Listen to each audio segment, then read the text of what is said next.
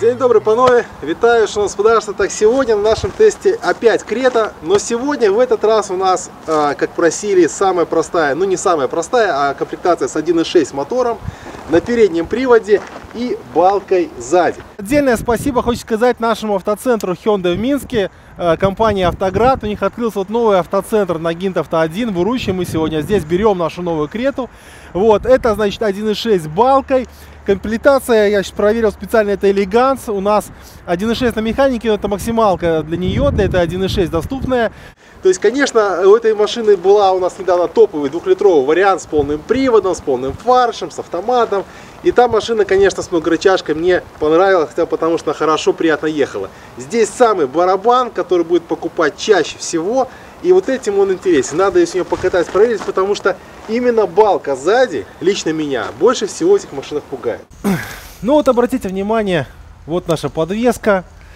Вот как это здесь скомпоновано. Возможно, больше похоже на сол, потому что, ну, на соляре совсем не похоже. Хотя, хотя ступица, ее размеры очень-очень-очень мне напоминает то, что я уже видел на, на Солярисе. Вот здесь все очень аналогично. Амортизатор стоит вертикально. Это, конечно, ничего не меняет на самом деле в поведении машины, только не установлены, но надо отметить. Пружины, чашки, все остальное хорошо. Каких-то проблем здесь найти я не могу. Балка довольно-таки мощная. Кстати, с торсионом внутри, ну таким типа а стабилизатором усиленная, скажем так, балочка такая. Но она другая, она другая. И это, наверное, хорошо, потому что на солярисах все-таки балка достаточно кривая. Даже по сварным швам там было видно, что варилось на колхозно. Здесь вот все сварные швы выполнены достаточно аккуратно. Это плюс. Ну и мощные соленблоки. Там дальше кузов укрепится. Все достаточно неплохо. Спереди все, все абсолютно одинаково, никакой разницы здесь нету вообще. Единственное отличие, что в туннеле, там где у полноприводной креты шел карданный вал, здесь расположена выхлопная вся система. Потому что в прошлый раз я рассказывал, что эта машина создана на базе машины Hyundai i20. Она выпустилась в Индии, Китае как AX25. И к нам уже пришла как Крета. То есть, по большому счету, i20 это одно и то же. Какая Крета? Какая Крета? для что ты вечно в кадр лезешь? Петр Арнольевич з нами сегодня. Приветствую. Вітаю, шановні. Бонжур, хлопцы. Какая Крета? Крета, так, я говорю, у нас на селе это для лохов Крета. Правильно? Не, может быть и не. Я считаю, что надо брать аудюшечку дизельную в универсале. Ну, я уже продал все свои аудюшечки, поэтому сегодня завитал э, к своему такому, так скажем, новому приятелю, к Андрею, який любезно пригласил меня на свой такой интересный вельми канал. Честно говоря, я очень слушаю его иногда речи и немного не понимаю, что он чешет. То есть некие фазы, некие там сдвиги туды-сюды. Нам какая разница? Нам главное, кап, кольца на капоте были, багажник большой, бульбу, бульбу накидал и поехал попер. Все. Какая крета? Дизельная, нахуй дизельная, не? Нет, о чем вообще тут можно разговаривать? Ну давайте посмотрим. Просто народный автомобиль. Давайте глянем на новый просто народный автомобиль. Я у меня всегда это экстерьеры, фокстерьеры всегда в канале. То есть я люблю и спереди, так сказать, и сзади. Да? Ну, я нормальный любой мужик, правильно? Что я могу сказать? По внешности автомобиля, внешность, конечно, такая, не кричащая автомобиля. То есть она довольно скромная, скромняшка, я так назову, да. Плюс э, явно он э, перейдут по своим габаритам, да, то есть я еще внутри как бы не сидел, ну я, спустишь же меня. Куда он денется, пусть ключ у меня. Вот, куда я что, сяду и поеду куда далее. Внешность вполне достойная автомобиля. На самом деле, да. И он, конечно, по внешним своим характеристикам а, не тянет на какой-то премиум, но он и не заявляет об этом этот автомобиль. Он не премиум, он за честные там какие-то небольшие гроши, да. Вот, он, в принципе, Немножко мне что-то в сводах и во всех этих делах, вот тут вот, особенно стоечка, это черная, кстати, очень интересно сделано. Я вот здесь, если все убрать, то немного что-то в Шкоду Ети вспоминаю, да? Ну что-то, ну, Саб может быть чуток, да. Но если вот убрать вот так вот, да, черная стойка, белая крыша, вот Шкода Ети. Не дай бог Мини Купер, конечно, но все же. Вот, поэтому, ну, такой вот мини-мини Mitsubishi ASX, вот так вот скажем. А все-таки мы помним, что кожный белорус сегодня мечтает о чем? Правильно. о стабильности, которая у нас и так есть. И главное, он мечтает о новом автомобиле, а это новый, правильно, новый? Конечно, новый. Я бачу, что новый, не замызганный, не затасканный. Вот. У него большие зеркала заднего вида, что, в принципе, еще э, большой плюс для новоиспеченных водителей. Вот. Потому что это же не телегой рулить. Тут надо же куда-то и по сторонам трохи башку поворочить. Зеркала большие. э, очень большие ручки, на самом деле. По пьяни не промахнешься. Ну, как не, не захочешь. Вот. Ну и в целом он довольно достойно сделан. Пластиковая защита сделана, пластиковая защита э, дверей, пла- пластиковые подарочники вот эти вот сделаны. То есть в целом автомобиль дерзкий. Дерзкий? Дерзкий, да, дерзкий. Не, по-другому не скажу, дерзкий. Ну а вы что скажете, шановный пан? Ну что мне сказать? Вообще, на самом деле, меня больше интересует техническая часть, как всегда. Я все-таки вот все-таки продолжу про мотор, Давай. потому что мне это больше всего нравится. Я хочу сказать про мотор такую штуку, что это на самом деле двигатель 1.6.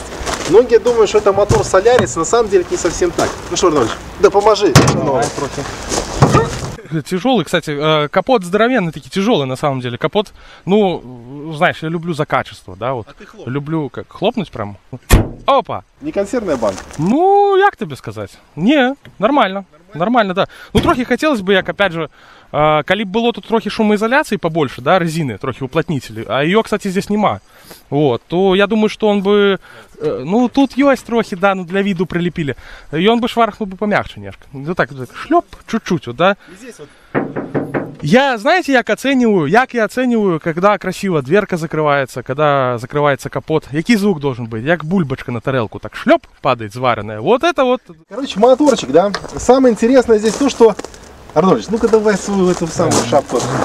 Коро- Короче, вот самое интересное здесь это то, что это мотор а, не на самом деле не солярисский. Не, они все, конечно, сделаны на одной базе, они все, конечно, похожи, блок там пенек одинаковый, но это мотор Сида.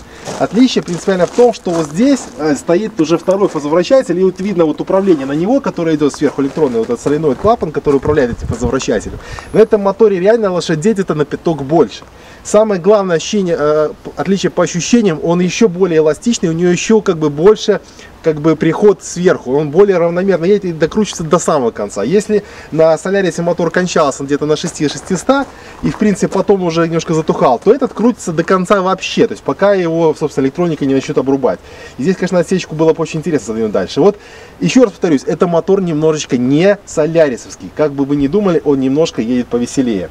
И еще отмечу, Потому что здесь видно, во-первых, здесь место побольше, очень хорошая, даже сейчас вот видно, очень хорошая шумка переборки моторного отсека. Если передняя корыца, ну сейчас Арнольдович нам тут пройдется по этому делу, вот здесь реально как тазик такой, понимаете, ничего, все голое, таким пластиком все как-то совсем как бы неуютно, понимаете? холодильник Атлант вспоминаю. холодильник Атлант, то вот здесь, конечно, вот здесь уже не сэкономили, и это прям заметно, потому что моторчик маленький, где-то там швейная машинка Зингера потерялась в этом моторном отсеке, и все видно хорошо, действительно сделано добро, на, на мой взгляд, на мой взгляд.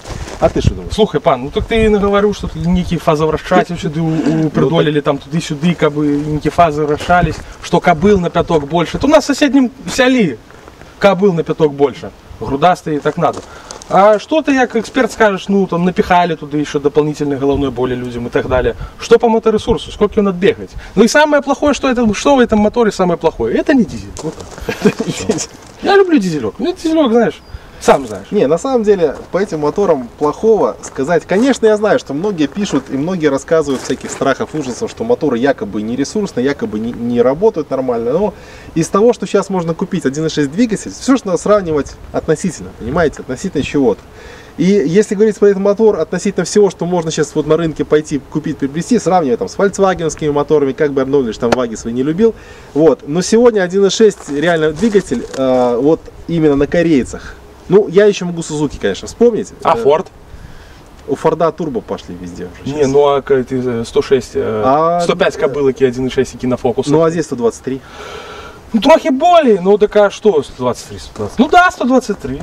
Ну, тут тоже, кстати, не такой же шикарный мотор. Там тоже же много вещей, которые на самом деле довольно более. Ну, конструктивно это старый мотор, да? Конструктивно. Да, это, старой школы мотор, э, достаточно простой. Да, конечно, э, нельзя сказать, что это мотор из 80-х. Это современный двигатель, но именно идеи заложены из э, еще тех 90-х годов в этом моторе, потому что еще и копнуть глубже, это на самом деле вообще мотор берет на свои корни от, от митсубишевских моторов, старых, простых, да, и э, митсубишевская школа именно в Hyundai ощущается очень сильно. Поэтому на самом деле мотор Опять же, я второй раз повторюсь, я в предыдущем видео рассказывал, он собран и приспособлен под работу на маслах SAI-20. Понимаете? То есть это действительно мотор, который может ехать на SAI-20. Это большой, на самом деле, серьезный показатель. Именно для моториста это очень круто и хорошо. Ну что, в принципе, с мотором все понятно. Агрегат, в принципе, неплохой, судя по всему, да, на самом деле. А, дополнительно это хаза-маза расшатели какие-то там, да, установлен, как там кобыл трохи больше пришло вам. Вот. Знаешь, что нужно, чтобы больше кобыл у тебя было? Какой мотор нужен? BMW. Вот тогда кобылы будут просто так и не лезть в салон, будут не, не, не уместишь всех кобыл так на кобылах будешь. И даже, кстати, с очень небольшим объемом.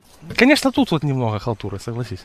Ну, вот здесь, да, вот халтура, тазик, да, вот здесь действительно. И вот это, ну, да, бачишь? Ну, вот так. И мне кажется, что если по пьяни, так можно и вырвать. Слишком длинный рычаг сделан. И там слишком хлипкий механизм. Экран этот весь, вот он сделан, конечно, так похабно. Это является частью бампера. И вот здесь есть похабности, да? Вот эти вот, да, да, э, литьевое прессование на заводе, когда проходит, потом, конечно, в хороших, дорогих машинах все это еще делают порошковую обработку, детали в специальных гранулах ворочаются, заусенчики убираются. Здесь, конечно, можно как бы пальчик и покалечить. Ну что, померяем толщину лакрачного покрытия. Давайте посмотрим, что у нас здесь. Э, Как обычно, вот самое, что вот поддается камням, облазит, это кромка капота. Вот что у нас здесь с ней, да? Вот смотрите, пожалуйста, 60 микрон. Видите? Вот вам, пожалуйста, толщина лакрачного покрытия хида. Но, если мы посмотрим чуть дальше, вот здесь уже 110, 110 микрон, уже немножко поменьше. Вот так вот неравномерно покрашен капот этой машины. Давайте перейдем к кромке лобового стекла. Опять снова самое уязвимое место. Опять 60, ну 65 микрона, да. Перейдем немножко дальше, посмотрим, что там. Здесь уже 80-90. Но больше всего страдает, это, собственно говоря, вот здесь вот краешек у самого стекла. Давайте посмотрим арочки, посмотрим, что там. Вот арка, то же самое, уязвимое наше место, да. Пожалуйста, 80-75 микрон. Давайте посмотрим сзади. А у дюшечка толще была. Ну, а как ты хотел? А со шпатлевкой так вообще не пробьешь. Ну, 75 микрон. 75 микрон, ну вот так покрашено. Вот так покрашен, э, покрашена наша Крета, наш Hyundai. Ну что сказать, по покраске действительно не самое сильное место у этого автомобиля, не самое сильное звено. Я тут не буду там крить душой и скажу, что здесь действительно нужно как-то прикладывать руки, э, можете обработать. Я не знаю, что посоветует владельцам, но обратите на это внимание, скажем так. Як, ты новую машину купил, таки пере- перекрашиваешь? Ну ты же не Audi купил. Ну, это понятное дело. Ну, Audi сейчас, кстати, тоже, да, грешат на самом деле. Да, у всех сейчас, все сейчас красят. Ну, так, будем а- объективны, да, будем объективны, что Audi тоже, как прибор откуда? Польский? Да, Польский, да? польский, польский. Фальшивка. Фальшивка. Е, ну, Польська, это что они там, что могут зробить поляки-то? Зацепил, я так понимаю, да, профессиональную гордость. Не, так меня же затроллят, да? Да кто тебе затроллит? Ты что? Ты мне покажи его, кто тебе затроллит. Ну, калибровочную пластинку давайте промерим. Вот пластиночка, вот кусочек металла, да, пустой, чисто, без ничего. Вот давайте проверим, что у нас получается. Вот, пожалуйста, 150 микрон. Люди гибнут из-за металла. Вот. Да? Вот вам калибровочная пластинка. Ноль. Чтобы вы убедились, что здесь ноль. Вот, Ага. пожалуйста. Ну, вот пальцем шевелю там. Вот вам ноль. Ноль минус один. Пры- прыгать немножко. Как говорил Виталий Кличко, используйте двери, чтобы проходить сквозь стены. Вот так вот. Вот, ну что я могу сказать по дверям? Э, ну, двери как бы тяжелые, согласись. Закрывается. А, что тяжелая, но знаете, есть еще фокус на самом деле. Тяжелая от петель э, от оконечников может чувствоваться, что она тяжелая. Коли ты ее изнимешь, она может як пух быть. Ну, закрывается, хорошо закрывается. Мгм. О. Не, это я... А, смотри, тут и А- шумка. а- открой дверь, Если Давид. сейчас открыть заднюю дверь, то она закроется нормально. Воздуху будет, наверное, куда выходить, правильно?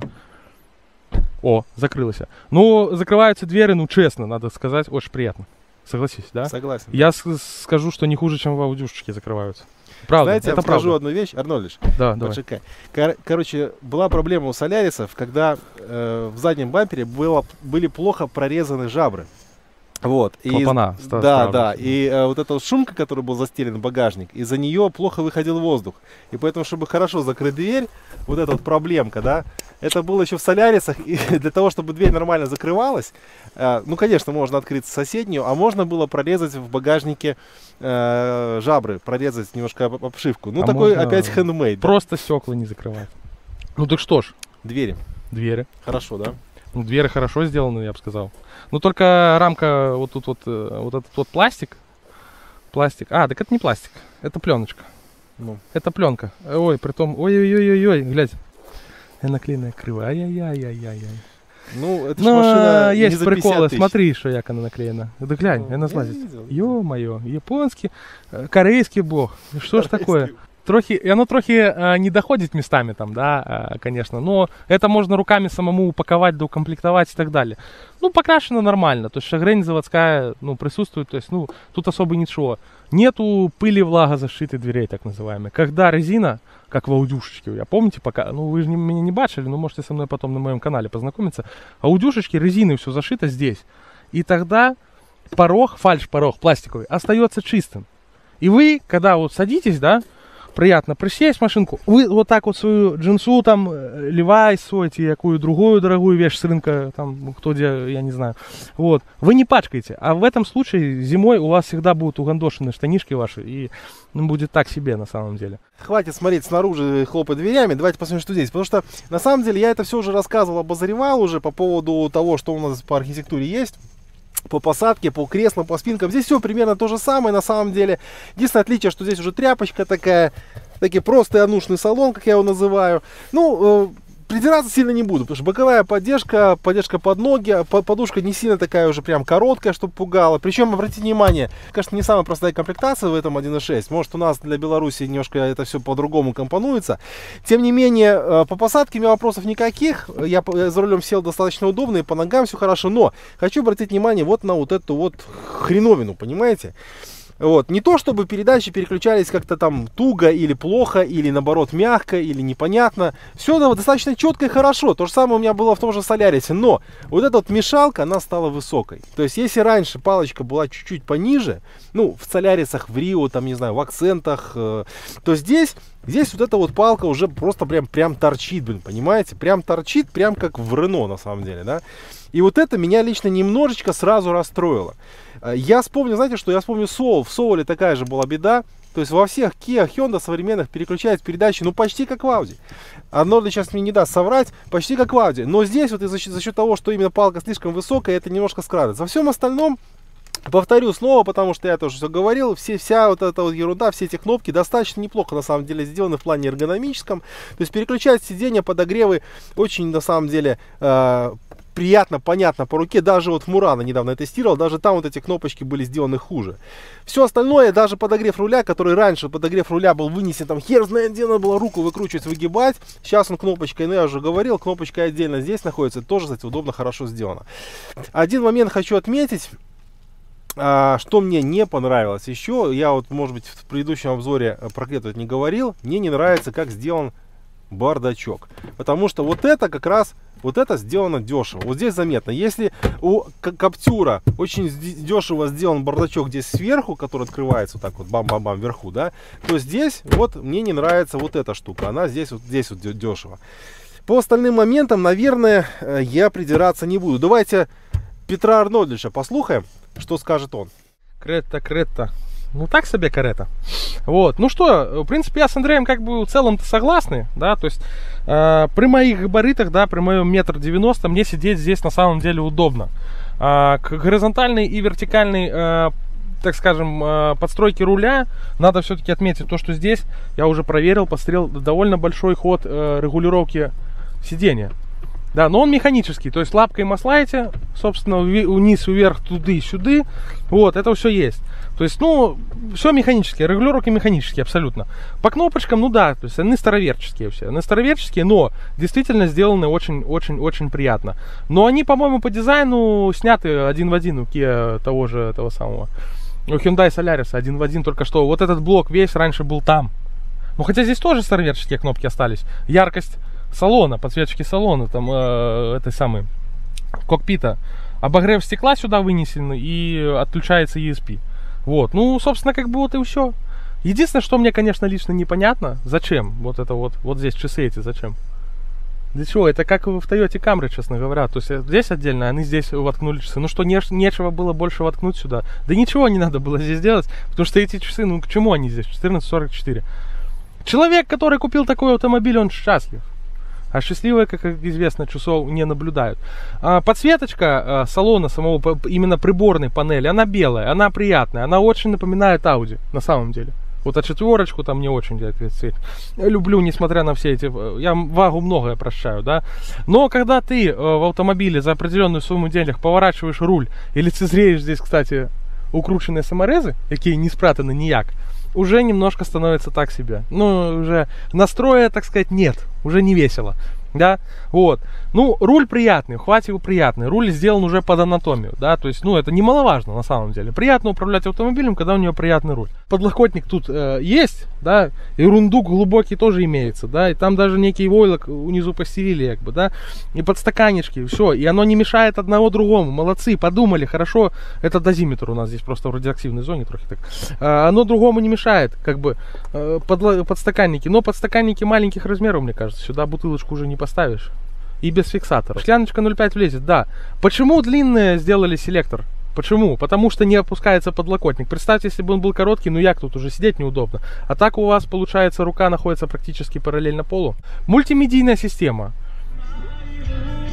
На его, а не во сне, не дай бог. Вот, э, нормально сделан цветной дисплей, и он сюда просился на самом деле, да, и в целом, как бы, тут они не сэкономили. Климатическая установка тоже все, но цвет белый надо было делать, а не синий, я считаю, да, чтобы все было. Уже здесь белый, здесь белый, здесь белый, а здесь синий, зачем? И часы эти синие, зачем? У все, все радости жизни для современного хипстера-тусовщика, молодого хлопца, який любит музыку, як и я, группу песняры, сябры и так далее. Здесь есть AUX, USB-шку воткнули, поехали, все, все это есть. Мультимедийная система здесь полная. Когда у нас машина переднеприводная, особенно здесь же еще важно что, на полном приводе здесь будет нагрычашка, а у нас здесь балочка. Давайте вот посмотрим все-таки на асфальте, как она себя ведет. Она просто, ребята, скользит мордой.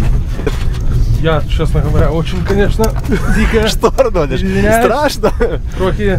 Не, ну як страшно, я у трактора переворачиваюсь, я ничего. То есть она никуда не едет, она просто конкретно скользит мордой. Арнольдыч, оно уже речь отнялась, но она реально Там... просто скользит. Она никуда не едет. Проснулся трохи укачала хлопцы по ходу движения меня.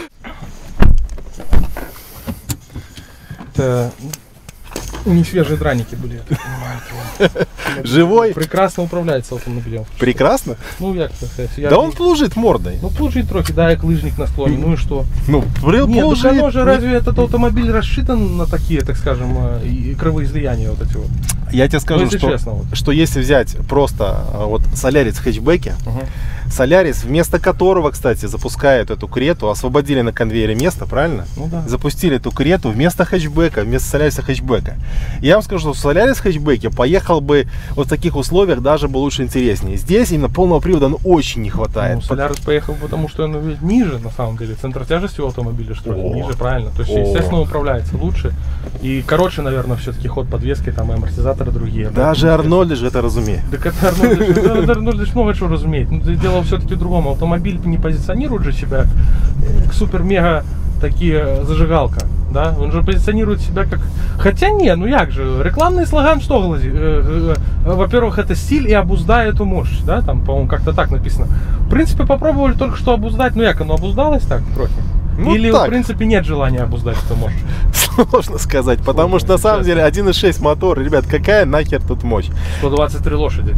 Да, два фазовращателя. Два Но, э, тем не менее, ребят, ну, самое главное хочу отметить, что несмотря на то, что балка сзади, в принципе, вот сейчас я еду по такой дороге, меня машина не пугает. То есть, если я на Солярисе, я тут же буквально в первую же неделю побежал в гараж и начал эту машину перепиливать, переделывать от, от э, того, как там криво ехала задняя балка, то здесь то ли это вот этот электроусилитель, который действительно сейчас вот налился тяжестью, то ли здесь что-то действительно по-другому сделали в этой балке, в архитектуре этой, этой балки. Но э, пока я не чувствую беды, пока едет. То и зрители э, бачили твой Солярис, да? Ну да. Трохи едет. Ну я трохи, да, и просто так немножко сказать между делом, что, а, так скажем, а, имел честь на штурманском, так сказать, кресле. Вот, и, конечно, да, адреналин, запах моего адреналина разносился по салону.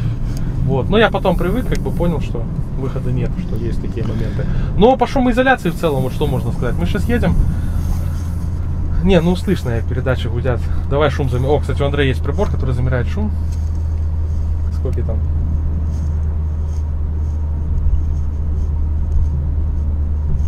72, даже было 69.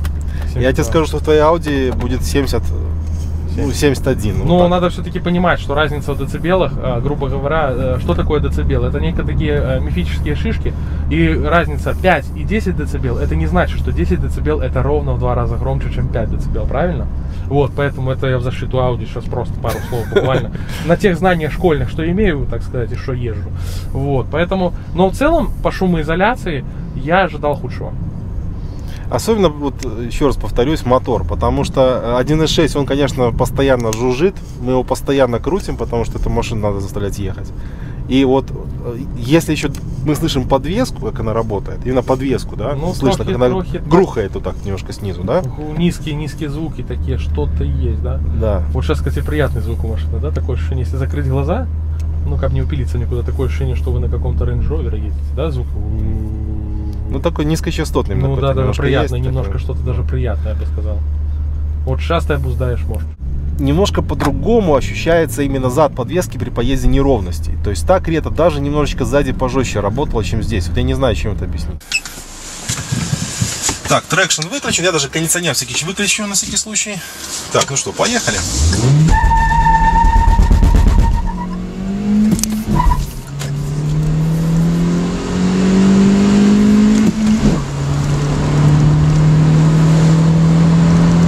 Тяжело идет, тяжело, тяжело идет, тяжело, совершенно тяжело. Дается этот разгон. И на торможении немножечко начинает ее водить. Опять же, э, проблема с 10.94, видите? Немножко более агрессивный старт, 10.94. Вот так она интересно проехала. Забавно. А, ну что ж, тот же результат, 10.94. Причем, что а, официальный дилер а, реально льет в нее 92 бензин. Мне об этом даже сказали прямым текстом. Мы считаем, якобы они считают, что это, это все в порядке вещей, что машина с этим справляется. Я с ним не очень согласен, конечно, но это мое личное мнение. Я, сколько смотрел, у меня машина постоянно откаты, постоянно углы плавают от детонации. Ну, бог с ним. Ну еще смотри, по поводу вот 1.6. Вот мы выехали специально на трассу, Ну да? да. И я нажал в пол, ничего не меняется. Ничего не меняется. Скорость вообще не меняется. Я нажимаю в пол, и вот А, ничего. Пятая, ребята, пятая. пятая. Только гудим громче. Гудим громче. И только на четвертой Ну, ну, правильно. немножечко, немножечко машина Это поехала. вам сейчас продемонстрировал Андрей, как работает кикдаун. То есть, Но на Ну. этой машине, да, у вас будет всегда два положения педали. Если возьмете Кретус 1.6, у вас будет положение педали газа выключено и включено. Вот прям туда вот в пол. По-другому она нет. Я сейчас нажал в пол на пятой, не, на шестой, вру, на шестой, на шестой вообще никуда не едет. И на пятой, в принципе, тоже ничего не происходит. Еще раз, потому что мотора на самом деле мало. Несмотря на то, что я умудрился на ней проехать э, даже из 11 секунд, казалось бы, 2.0 на Крете я проехал 11, по-моему, 1 или сколько там с копейками, да? на автомате. На автомате, да, там был автомат. Он со старта берег себя. Он еле-еле, он не провернул колеса. Здесь я дал ей под хвост добро просраться, и она, конечно, проехала из 11. Но, э, еще раз говорю, вот именно по динамике на скорости ее здесь просто нет. Это, на этой машине будет ехать скучно. И, ну, э, она едет, на самом деле, если сравнить ее с Дастерами Каптюрами, вот, Арнольдович, ты ездил на Каптюрах? Не, на каптерах не На ездил. На Дастере. дастерах, ой, что давно, когда-то даже хлопцы, вот могу показать вам а, шрам на пальце остался, интересная история. Хлопец когда-то легко, я извини, что расскажу. Э, Конечно. Про что я говорю, про литиевое прессование. Ручка у Дастера, я вот один из первых людей, так скажем, из всех моего окружения, кто потрогал Дастер, так сказать, руками, так сказать, понюхал э, и прикоснулся вот к этому творению. А, я даже вру, это была дача. Это была дача Дастер. Это Мгм. была не Рено Дастер. Настоящий, еще. да, да. Я порезал палец об э, заусенец, який торчав из ручки двери. Вот. И я в целом проехался. Гудит не есть, да, гудит не есть. Так вот, этот 1.6 на самом деле, он едет, э, если сравнивать э, с э, этими машинами, ну пускай они неплохие, не имеют права на существование, но этот 1.6 едет даже лучше немножко, чем э, Duster с 2.0. Вот так я вам скажу. Да, давайте разгонимся. Давайте все-таки постараемся хоть как-нибудь, подождем, может быть, полдня и наберем хоть какую-то скорость. Ну вот, набираем, набираем, набираем. У меня шоки начнут за э, затылком хлопать так вот просто. Апл- Аплодировать этому мастерству. Ребят, на самом деле страшновато. Вот да. Э, честно, она немножко уже начинает прыгать. Вот и почему-то вот на, на многорычажке я ехал. Я ехал 150 э, с уверенностью и комфортом, ее никуда ничего с ним не было. На этой, в принципе, вот 140 уже хочется немножко сброситься. Нет уверенности, понимаете, она немножко чуть-чуть почему-то чуть-чуть вправо-лево ее немножко тягает. И она немножко вот начинает а, ловить неровности дорожного полотна, вот именно вверх-вниз подскакивать. Вот реально комфортная скорость, и, и, ну, все-таки, наверное, из-за балки. Где-то вот 100, 110, 100, 120, примерно так. Ну, кстати, ты про руль ты что не сказал, что же все-таки электроусилитель, который действительно по всем законам жанра вращается просто пальчиком настоящего автомобиля. И, кстати, ничего не щелкает, не цокает. В отличие от многих других автомобилей, где действительно э, при приближении к э, крайней границе начинается какая-то хрень. А здесь нет ударов, да? Ты чувствуешь? Это правда. Вот, ну что, трохи тронемся тогда. Все-таки на трассе стоим, тут э, не будем светить, так сказать, лицом. Я, в отличие от Андрея, все-таки приверженец спокойной езды. Спокойной езды. Этот Мустанг, конечно, не провоцирует меня сейчас э, здесь вытворять что-то непонятное. Вот, но Гудит. Ну, вот, ну, знаешь, честно тебе хочу сказать, оно уже вот такое ощущение, что на, стор- на скорости, то ли это боковой ветер так ее... Тебе не показалось, кстати, что боковой ветер трохи ее как-то вот вихляет? Это Или- балка. Это балка, это, Это все-таки балка, балка. это- это не, ну як балка, ну слушай, у меня когда колись был гольф, третий с балкой сзади, и что? Ну, я, я так не, не вихляла так его, честно тебе хочу сказать. Она высокая, ты тоже понимаешь еще разницу. Все-таки как-то вот правда, да, вот действительно, вот, ну, вообще. Что 120 километров едем и чувствуется, что Ну вот 110 у меня было комфортно, больше не хотелось. Ну, руль такой, да, вязкий, чувствую. Ну, Искусственный. да, тяжесть да, такая. тяжесть, ну, тяжесть не та, і як, як на дизельной удюшечке, як ох, потянешь таки через, через редуктора, этот мед этот пошел, и все, красиво идешь, аж шкребешь пузом по асфальту. Ну, не суть. Вот, этот автомобиль, конечно, он не, не- для шашечек, не для шашечек. Стали в один ряд, действительно, вот як корейский пенсионер, почувствуйте себя, вот это сипока-сипука, все, сели, и в одном ряду вы пилите на нем. Вот я уже на шестой передаче еду на скорости 110, а, почти 3000 оборотов, знаешь, и мне нормально. То есть я вот еду себя куда-то, еду, я, знаешь, и, и- и чувствую себя нормально. Ну, у нас просто с Андреем разные взгляды на езду в целом. То есть Андрей драйвер, он любит получить от этого удовольствие и прочее, прочее, прочее, прочее, прочее. Я как бы не, не приверженец на самом деле, потому что я один раз лежал на крыше уже. А ты лежал, кстати? Нет, а я лежал, мне приходилось когда-то. Спустя годы я понял, что, конечно же, я не создан для такой драйверской езды, я все-таки спокойный водитель. Вот, поэтому я могу сказать, что, блин, а что я вот так вот Как мячик теннисный, да, что ее вот так вот действительно колбасит? И едешь и на ней, и вот так вот. Гоп-гоп, казачок. Ну что это такое? Что за нормальная дорога в целом? На других машинах я тут езжу и как бы нормально все. А что-то местами как-то вот ее... Либо она действительно так уже резонанс какой-то ловит, действительно, с неровностями асфальта. По эргономике хочется куда-то руку положить, а этот, ну, подлаку, падла, Жесткий? котник, он здесь, и он жесткий такой, правда, костяшками нечто, мнешься, мнешься, неудобно, ты сидишь, Это маленькая машинка. Вот сейчас понимаешь, что маленькая, согласен? да, она маленькая, действительно маленькая. Есть, ну, Вот на такая- первый взгляд нет ощущения, что Да, маленькая. да. тут А хоп, когда и начинаешь- вроде как вот уже вот Да, и локтем уже, трошку, да, уже начинаются проблемы. И как-то здесь вот, если вот, э, ну як, все, второму уже, ну хотя нет, если... э, Если меня подвинуть, да, да, да, чё? да, да, да, да, то уже начинается как бы такое немножко толчая какая-то нездоровая. Ну так вот я еду, кстати, честно тебе, Андрей, хочу сказать. Я еду, если вот это вот убрать все, вот так вот закрыть, такое ощущение, что я в Солярис еду. Ну, торпеда, вот она вообще очень похожа, если бы вот эту порнографию, конечно, не. Ну, собственно. А так-то, в принципе, вполне себе, знаешь, как это говорится, вдува- вдувабельный автомобиль. Ликвидный. Я, я вот честно, как вот все-таки представитель, э, так сказать, от народа, я вот, опять же повторюсь от Сахи, я, я думаю, что у этого автомобиля будет успех на белорусском рынке. Будет. А, и это подтверждает то, что мы с тобой сегодня уже увидели несколько автомобилей. Да. А они только-только-только, так сказать, зажглись на небосклоне, а уже, собственно, их начали брать. Покатались мы, покатались мы на нашей Крете. Посмотрели, э, как она управляется, как едет у нас 1.6. Вот, э, вот эта комплектация простая с балкой переднеприводной на механике. Ну что вам сказать, мое мнение. Мое мнение такое, что ну, всегда решают, во-первых, всегда решают деньги. На самом деле, бабло всегда главный фактор. Потому что эта машина стоит существенно дешевле, чем полноприводная. И ее из-за этого, только из-за этого будут брать охотнее всего. То есть ее будут разбирать, ее будут покупать только потому, что она стоит все дешевле. Потому что многим людям актуально внешний вид, модный современный паркетник э, с такой как бы довольно интересной формой, честно говоря, ну скучный, простой, такой унисекс я ее так называю, да. Кому-то это, конечно, нравится, кто-то будет только ради этого, ради паркетного кузова модного покупать эту машину.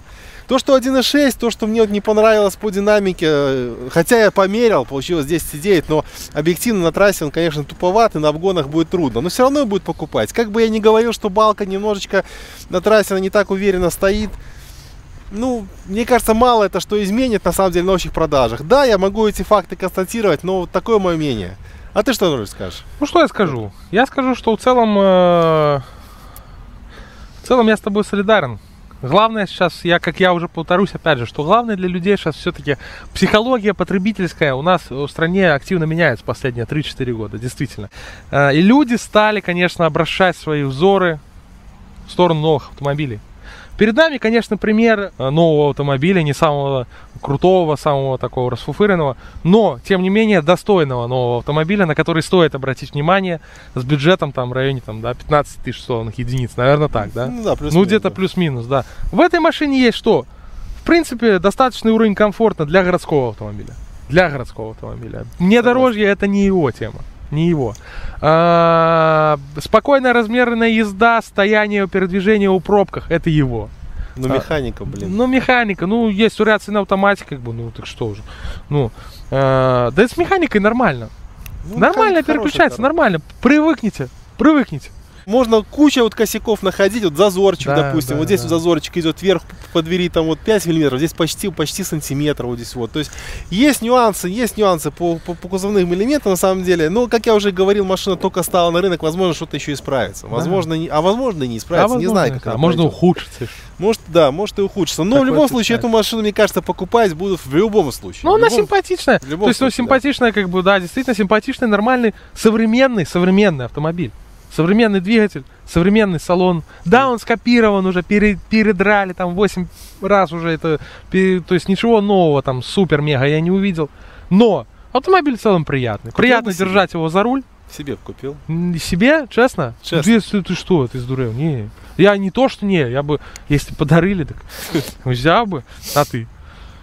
А я паркеты не люблю. Ну, паркет Ладно, на этой херне заканчиваем наш тест-драйв. Все, ребят. Все, Всем всего доброго, до новых встреч. Доведение, ревуар. До побольшения, надо сказать. Нормально.